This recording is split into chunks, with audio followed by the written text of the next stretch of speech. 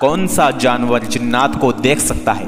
जिनका मतलब होता है छुपी हुई मखलूक। जिन्नात एक ऐसी आग से बने हैं, जिसको हम इंसान नहीं देख सकते। लेकिन कुछ जानवरों में अल्लाह ने वो सलाहियत दे रखी है कि वो जिन्नात को देख सकते हैं, जिसमें है कुत्ता और गधा। अबू दाऊद की हदीस में ज़िक्र मिलता है, रसूलुल्लाह सल्लल्लाहु अलैहि वसल्लम ने इरशाद फरमाया, अगर तुम्हें रात में गधे या कुत्ते के रोने की आवाज़ सुनाई दे तो अल्लाह के ज़रिए पनाह मांगो शैतान मरदूद से, क्योंकि गधे और कुत्ते वो कुछ देख सकते हैं जो तुम नहीं देख सकते।